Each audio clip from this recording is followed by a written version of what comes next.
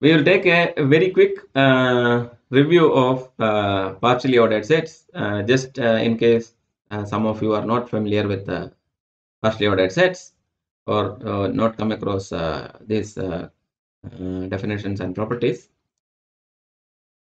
So this will be very quick. we will not spend too much time on this because this is just this is not part of what we you know are studying in this course, but you know something that is required to uh, you know to see some of the results or, or understand some of the results. Okay so what is a partially ordered set? So a partially ordered set p is a set uh, now the set uh, you know is also denoted a p it's an abuse of notation but uh, you know it's clear uh, from the context. So therefore we don't worry about that so we will represent the same uh, uh, set, which is the base uh, set, and as well as the the structure uh, poset, both uh, with the same letter P. So the poset P is a set together with a binary relation, uh, you know, denoted less than or equal to in in our most cases, or sometimes you can use other symbols. Doesn't matter, but it will be explicitly mentioned.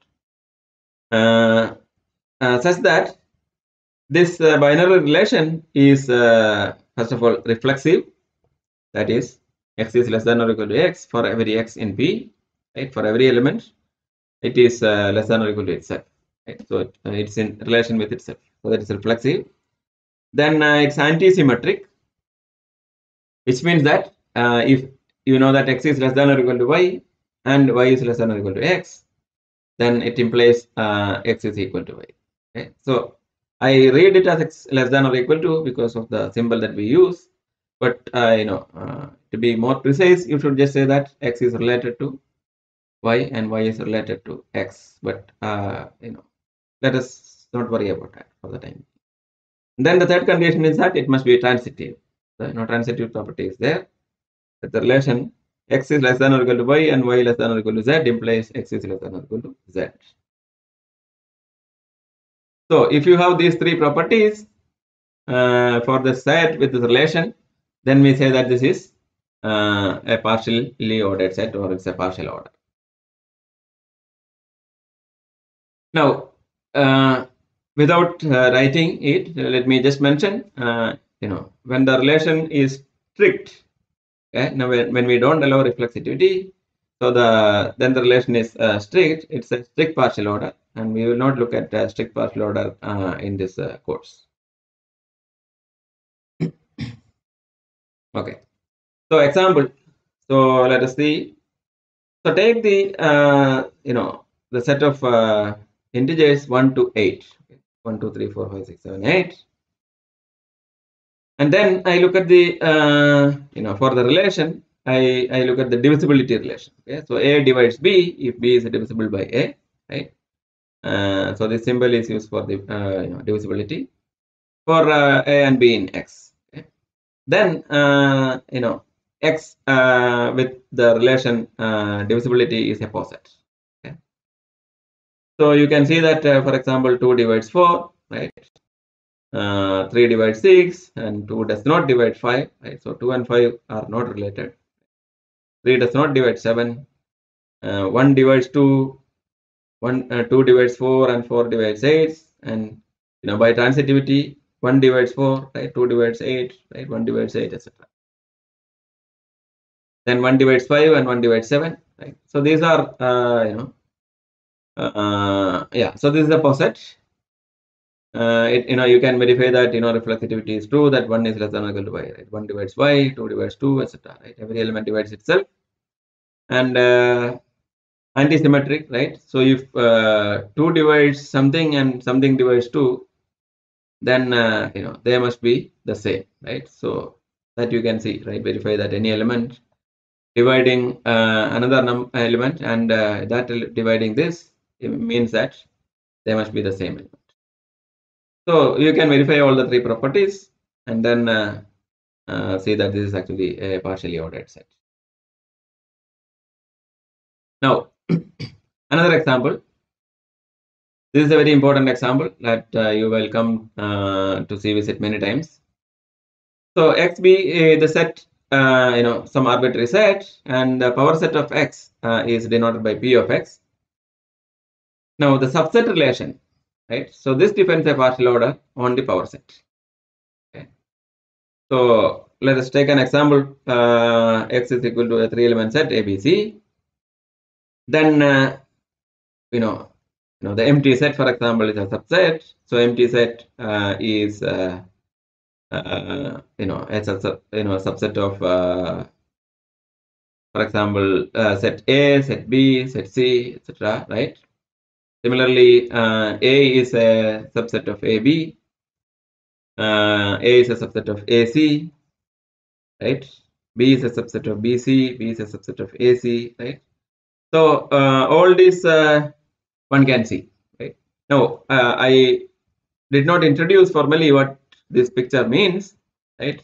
So we will come to this, uh, you know, more formally later, but this is basically a kind of graph where, uh, you know, you represent the elements uh, of P as, uh, you know, as vertices of a graph.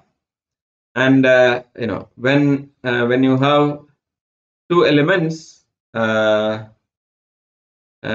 know, where one is contained in the other and there is nothing in between, you put a, you know, line between them. And if uh, if you have an element that is a subset of or or you know less than or equal to in the relation then uh, you know uh, you make sure that you know the the element that is uh, the larger one right containing one uh, is uh, above in some sense you know horizontally above. So it's it's formally you know we will define a little later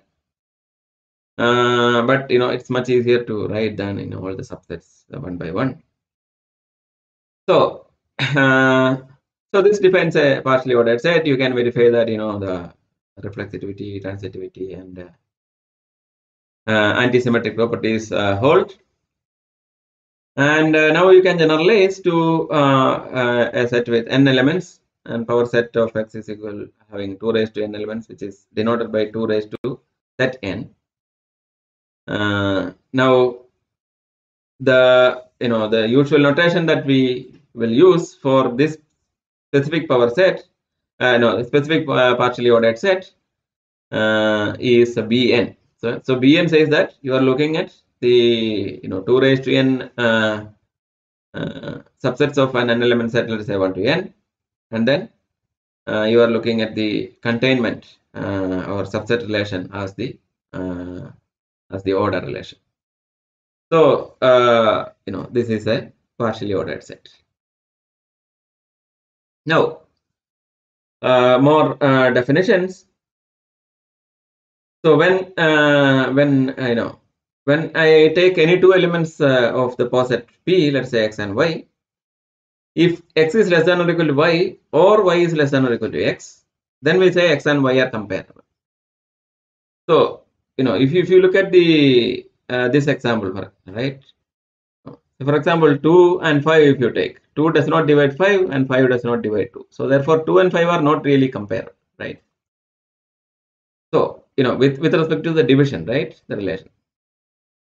And similarly, if you take uh, AB and AC, right? So if you take AB and AC here, right, they are also not comparable. You cannot say one is a subset of the other or this is a subset of that. So therefore, they are not comparable. So Uh, when uh, you know this property holds for one of the pairs, then we say that uh, they are comparable. Now, suppose you have two posets P and Q. We say that P and Q are isomorphic. If you can find an order preserving bijection, right? Let us say phi that takes P to Q, whose inverse is also order preserving. So when I say order preserving, X uh, is less than or equal to y in P, right? So this says that the relation is uh, inside P, right? So P and Q can have different uh, you know, relations. So therefore, now uh, phi of x, right, is an element of Q, is less than or equal to phi of y in Q. So if this relation is if and only if, then we say this is an isomorphism. And and and uh, uh, we also want that inverse is also order preserving. Now right so that's why that's why this if and only if Now, suppose you have a bijection and uh, you know you know that it is the bijection is order preserving. Is it necessary that the inverse is also order preserving? Or can you find an example where it is not? So think about this. If you find an example, uh, let me know. Or, or you write it as a homework. now, so given a poset, we can talk about a subposet. So a subposet is a subset, of course. Uh, and uh, the relation, right, x is less than or equal to uh, y in, uh, in Q if and only if x is less than or equal to y in P for x and y in Q, right. So for all the elements in Q, right, which is the subset, this should be true, right. Then we say that it is a subposet. So there is a you know there is a weak uh, version of the subposet definition where uh, you don't uh, insist this if and only if condition, but we will not go into that. Okay, so we will whenever we say it's a subposet, we will say that it's a, an induced subposet or uh, know the, uh, the relation uh, is maintained exactly as it is for all the elements within Q. Now for uh, two elements x and y, the interval xy is defined as the set of all elements in, in P in the poset such that uh, you know z comes between x and y, right? So x is less than or equal to z is less than or equal to y. Okay. So this set is always non-empty. It will contain at least x and y, uh, or at least we want uh, we want uh, uh, it to depend like that. Uh, and uh, so the interval uh, is this set, this non-empty set. Now a poset is said to be locally finite if every interval in P is finite. So the P itself may not be finite, but if you can say that you know every interval is finite, right? So once you take fixed two elements x and y, then you know between x and y the number of elements right that appears is finite. So then we say it is locally finite.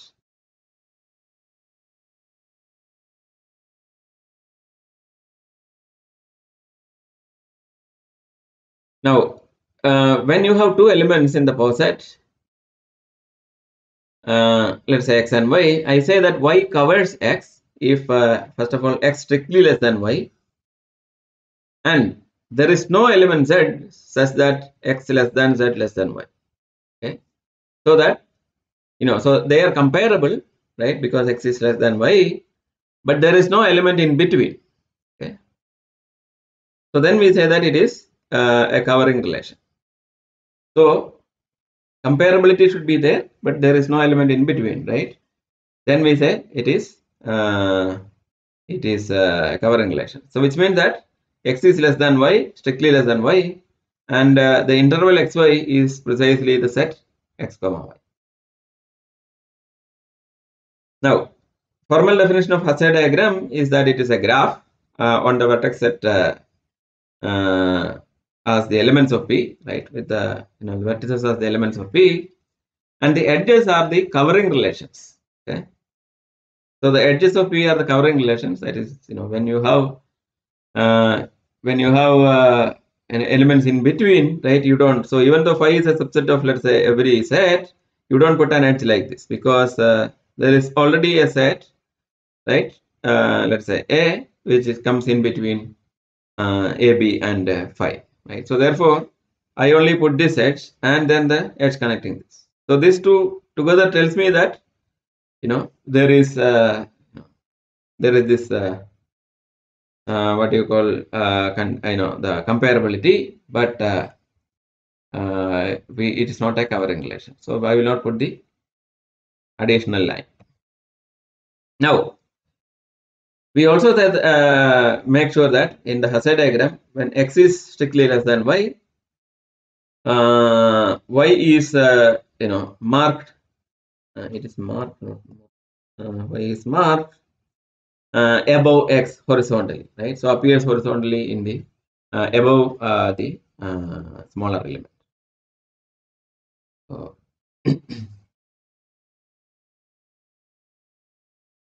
So example, uh, here are two Hasse diagrams. So one for the poset that we considered earlier, right? The uh, poset which contains uh, contains uh, the 1 to 8 and uh, the divisibility. So we saw that uh, 1 uh, divides uh, 2, 3, 5, 7, right? They are precisely the prime numbers if you observe. And then, uh, you know, 2 divides 4, right? Uh, 2 covers 4 because there is nothing in between. 4 divides 8. 2 divides also 6, 3 divides 6, and uh, no other elements does not divide any other elements. So we get the complete description of the uh, here in the Hasse diagram. So once you have the Hasse diagram, you know the poset. So here is another example, right? You have x and y, and x is less than t, x is less than z, then uh, y is less than z, and y is less than u, right? t is less than w, z is less than w, t and u are less than v, right? Now, we say that the poset P has a zero if uh, you can find uh, an element, uh, you know, uh, so I, I denote by zero hat, right? So if you can find an element, uh, uh, special element, such that zero hat, such that x is greater than or equal to zero hat for every x, right? It means that this is a kind of minimal element, right? So if every element is less than uh, is greater than or equal to this, then it is a 0. Similarly, uh, P is said to have a 1 if you can find an element such that every other element is less than or equal to this element. Okay, so this is uh, that. Uh, and uh, if you have a poset P, then you can denote by uh, P hat as the new poset that you obtain by adding an additional 0 and a 1 to P. So you add uh, two elements, introduce two elements and make one as the minimum element that you know it is less than or equal to every other element and then uh, one as greater than or equal to every other element. So if you do that then you get a new poset P, P hat. So you know even if P originally had a 0 you can still add it but then you know the original 0 may not be the 0 anymore. Right? So here is an example. You start with uh, this poset P, right? So the P is the poset, and you can see that A is a minimal element because it is less than or equal to every other element. But there is no, uh, you know, maximum element, for example, right? Uh, I mean, I should not say maximum. There is no one here because uh, there is no element which is larger than uh, every other element. Here. On the other hand, I, if I take P hat, I am going to introduce a zero here and also a one there and now a is no more the 0 uh, but 0 hat is and uh, similarly 1 hat is a, it's a 1 okay. Now a chain uh, is a poset where any two elements are comparable. Suppose you take uh, you know uh, a set of elements and say that any two are comparable, right? One is less than or equal to, for example, if you look at the natural numbers, right? Natural numbers, you know that, okay, every element can be less than or equal to the, you know, uh, the following numbers, right? So, uh, and you, know, like you can compare any two of them. So that is a chain, right? So you can see that. So with that uh, usual less than or equal to relation, the natural relation. Here is a smaller uh, subset, like 1, 2, 3, 4, 5. And uh, 1 is less than or equal to 2, 2 less than or equal to 3, 3 less than or equal to 4, 4 less than or equal to 5. And because uh, you can see that, you know, every element is comparable because of the uh, uh, because of the structure. And uh, the length of a chain is the number of vertices minus 1, the cardinality of C minus 1 so the length of this chain is basically uh, 5 minus 1 which is 4. Okay. So the length is 4. Okay. So you can think of many other chains, it's very easy to see. Now, if every uh, maximal chain in a poset Okay, so you know once you have uh, you know uh, once you have defined the chain as a poset, uh, a subposet uh, isomorphic to a chain is also uh, called a chain, right? In the in the poset. So if every maximal chain uh, in a poset P has the same length n, then we say P is a graded uh, poset with rank n. So if you look at this uh, example, so we looked at this example, right? So if you look at uh, you know the chains, maximal chains here, okay. So so what is a chain? So basically like you know, so A B is a chain, right? Because A less than or equal to A comma B, right? so not A B. So A A B is a chain. But this is not a maximal chain because you know I can extend the chain below and above. So there is this uh, maximal, right? This chain. So the length of the chain is three here, right? Now, if you if you look through this, you can verify that every maximal chain has the same length. So every maximal chain has length three. So in such a case, we will say that okay, this uh, this uh, poset is graded, and uh, its rank is uh, n. In this case, it is three, right? So the length of the chain is three. So therefore, the rank is three. Okay. Now you can take the elements and then look at the you know the length of the chains from the smallest minimum elements. And then you can see that okay if the if the length from the minimum element is whatever uh, i then i can say that that is the rank of the element. Okay, so i will say that this is uh, 1 this is uh, 2 and this is 3 so the elements in this uh, level you can verify that are all having rank 2 here all of them having rank 1 and here this is 0 and this is 3 so this is uh, you know uh, this uh, you know intuitively tells you why this is uh, graded of you know one rank.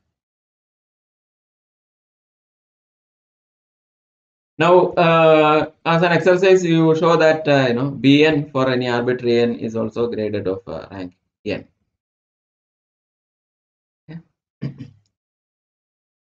Now suppose uh, you have a poset P which is graded with rank n and uh, suppose P subscript i small p i denote the number of elements of rank i uh, which is you know rank i is the distance from the minimum element. Then summation i is equal to 0 to n pi x raised to i is called the rank generating function of the poset okay? So uh, the rank generating function is summation pi uh, x raised to i. So, for example, in this case, you have uh, you know p0 is one, uh, right? So, what is p0? Where is that? So, p0 is one. This is small p.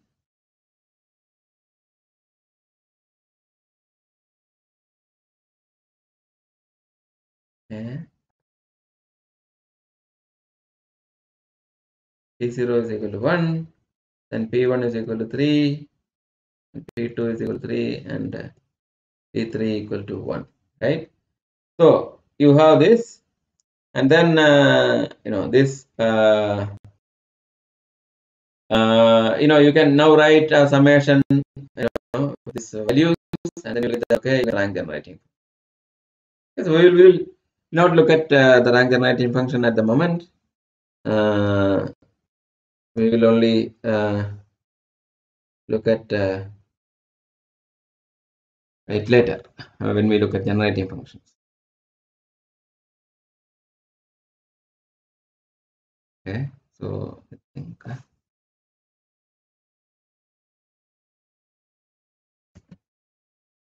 okay. Now,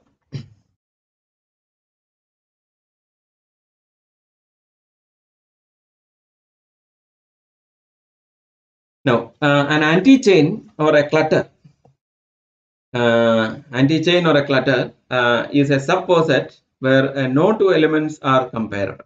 Okay. So, if you have uh, you know a subset where no two elements are comparable, for example, if you take uh, this poset and if you take B and C, right? B and C are not comparable, right? Similarly, B and E are also not comparable. So the subset B comma uh, E or B comma C are uh, clutters or uh, anti-chains.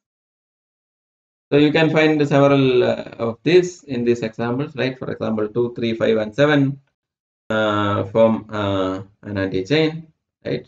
5 and uh, 4 form an anti-chain, 7 and uh, 8 form an anti-chain, right? So these things are anti.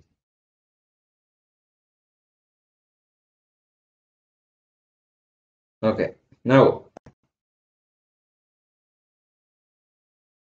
when you have uh, two elements x and y in a poset P, okay, and say a third element uh, w is said to be an upper bound for x and y.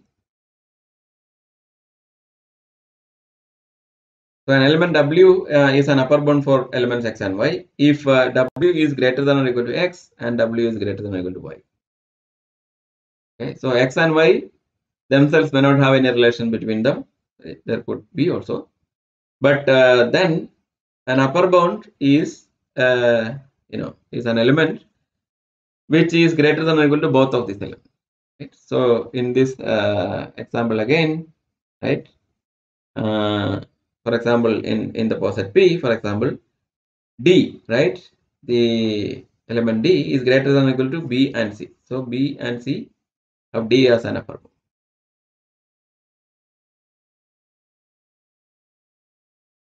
Now, an upper bound uh, is called a least upper bound.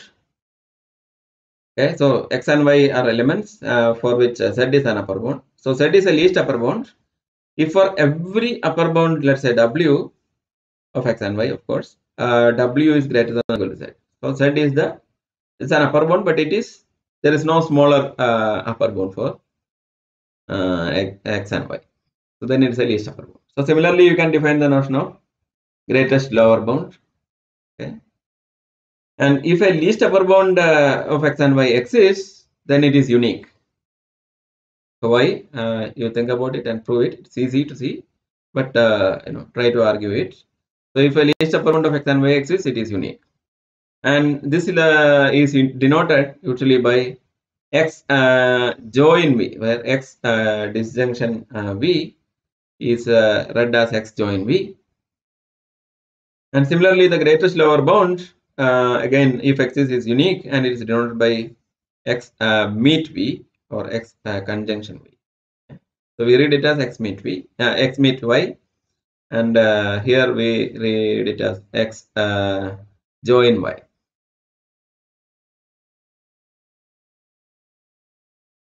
okay. Now a poset where every pair of elements has a least upper bound and a greatest lower bound it is called a lattice. Again you know there is you know there is a whole branch called lattice theory but we will not uh, look at uh, much of lattices. Just to in case of, of, some exercise or something mentions lattice i just want you to know that uh, uh what is it. So that is the only reason uh, we defined lattice and it has very nice properties uh, you know maybe in some of the exercises you can see why it is nice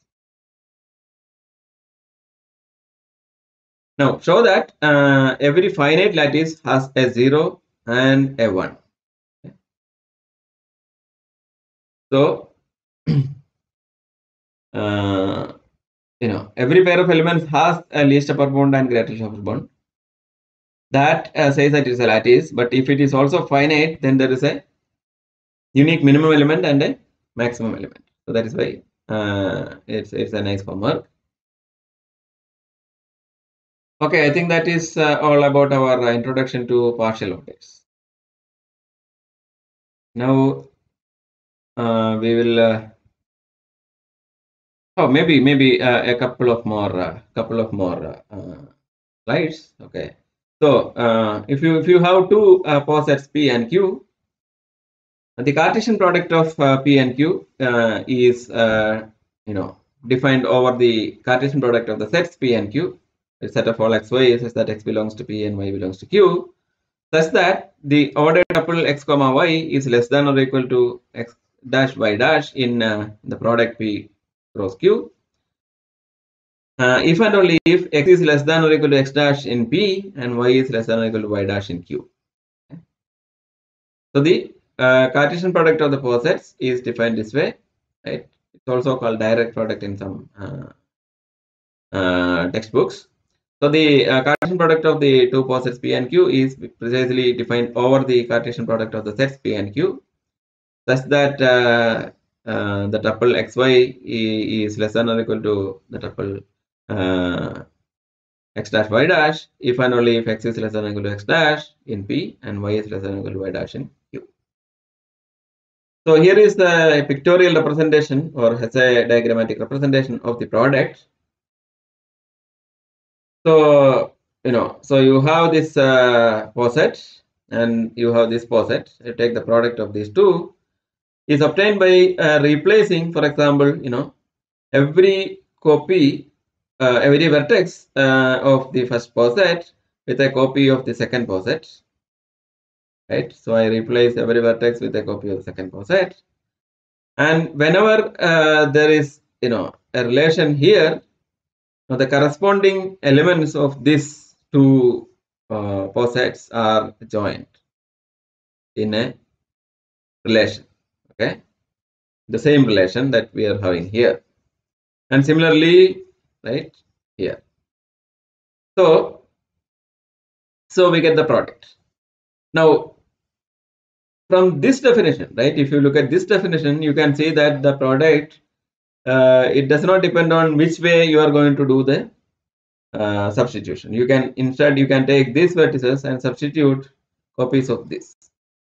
So what happens is the Hasse diagram looks very different from the Hasse diagram that we got here, but they the posets are indeed isomorphic.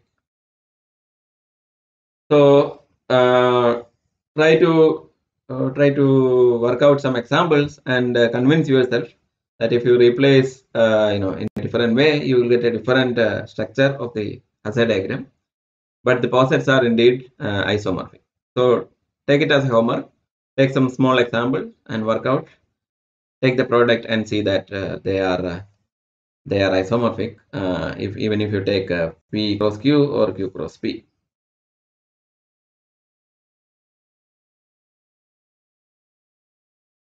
Okay a homework. Uh, consider the chain of length 2 I mean length 1 which is two element chain right? So just 1 and 2 okay? So one is uh, the smallest element 2 is the largest element. So 1 2 forms a chain so the chain of length uh, 1 or uh, the chain of two elements uh, uh is denoted c now show that uh, the poset that we looked at bn right uh, is isomorphic to the n-fold product of c with itself that is you take this poset multiply it with itself n times and then you will get a poset and that poset is isomorphic to Bn. So this is the subset poset with the containment relation for the power set of n element set, right? So that is Bn. So uh, this is what, right? So product of C with itself n times it's isomorphic to Bn. So this is a very nice uh, uh, homework and uh, with that uh, uh, so with that we we finish the introduction to the posets and uh, try to look at a few more examples from the textbook and then uh, then uh, convince yourself that you are comfortable with the notion of posets and you know the related concepts that we have defined here. Okay